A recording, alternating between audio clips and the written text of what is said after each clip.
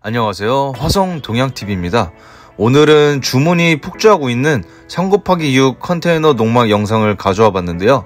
이동시주택 농막 옵션이 동일하게 들어가 있는 농막 컨테이너를 보시죠. 화성 지역 같은 경우 이동식 주택 설치를 못하게 하고 있는데요. 지자체마다 달라서 꼭 시청이나 군청에 방문하셔서 알아보시고 계약하시는 걸 추천드립니다.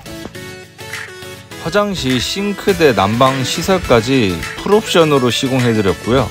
겨울철에는 사용을 안 하신다고 하셔서 단열은 이중 단열만 해드렸습니다. 화물차와 지게차가 작업을 할 수 있게 평탄 작업을 해놓으셔서 비가 왔지만 빠지지 않고 편하게 하차를 할 수 있었습니다. 이제 여름이 지나고 가을이 아닌 겨울의 계절이 다가오는데요. 겨울철에는 밭농사를 안 하지만 내년 여름을 대비해 미리 농망을 준비하시는 분들도 많으십니다. 컨테이너를 하차할 때는 첫 번째로 햇빛이 잘 들어오는 남향을 바라보고 하차를 하거나 두 번째로는 창문을 열었을 때 뷰가 좋은 위치에 하차를 하시면 좋습니다. 컨테이너 및 이동식 주택을 하차할 때 하차 장비만 불러주시면 수평 작업 및 주축도를 놔드리고 있고요. 컨테이너를 사용할 때 주의할 점을 설명을 해드리고 있습니다.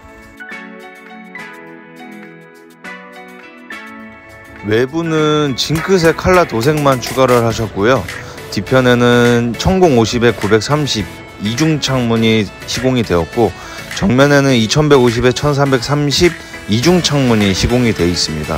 우측에는 화장실 창문과 싱크대 창문이 시공이 되어 있고요. 컨테이너 농막이나 사무실 컨테이너를 사용하시는 분들은 강화 온돌마루를 웬만하면 추천을 해드리고 있고요. 천장이나 벽체는 석고 도배를 시공을 해드렸습니다. 천장은 화이트, 벽체는 영그레이 색상으로 시공을 해드렸습니다.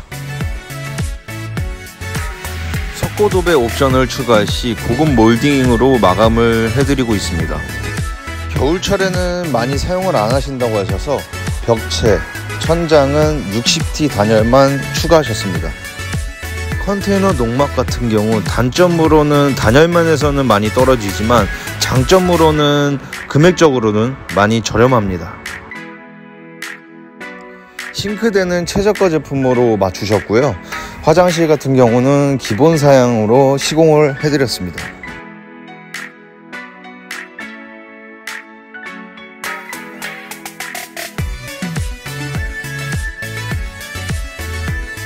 지금까지 3 곱하기 6 이동식 주택이 아닌 컨테이너 농막에 대해서 소개를 해드렸고요.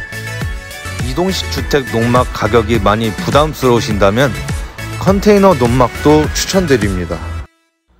컨테이너 농막에 대해서 궁금하신 점이 있으시면 좌측 상단에 있는 전화번호로 연락 주시면 친절하게 상담 도와드리겠습니다.